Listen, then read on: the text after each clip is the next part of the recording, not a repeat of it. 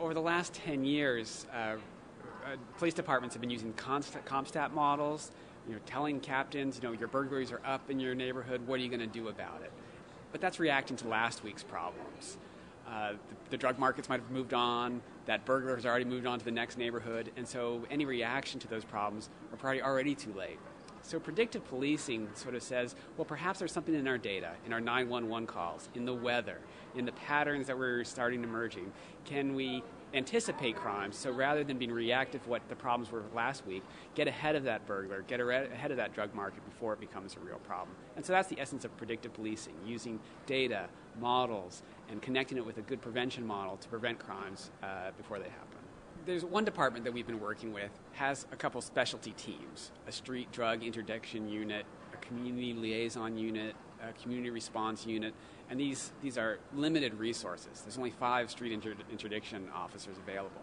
So it's this very valuable very limited resource and they're going to put it somewhere.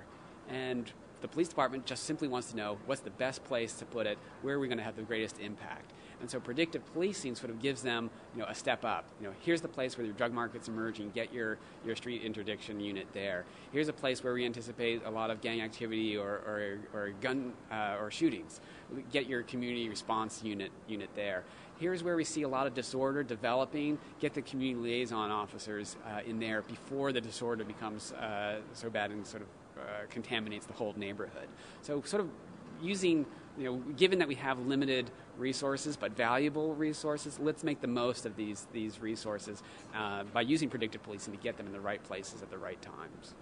Remember, there's, there's two parts there's a prediction model and a prevention model. So this is going to be a combined effort between analysts and researchers developing the best prediction models. We also need those practitioners, those cops who know the streets and know various prevention uh, strategies. And it's going to be a team effort getting those analysts, getting good predictions, and the cops coming up with good prevention models to actually make predictive policing have a, an impact on crime.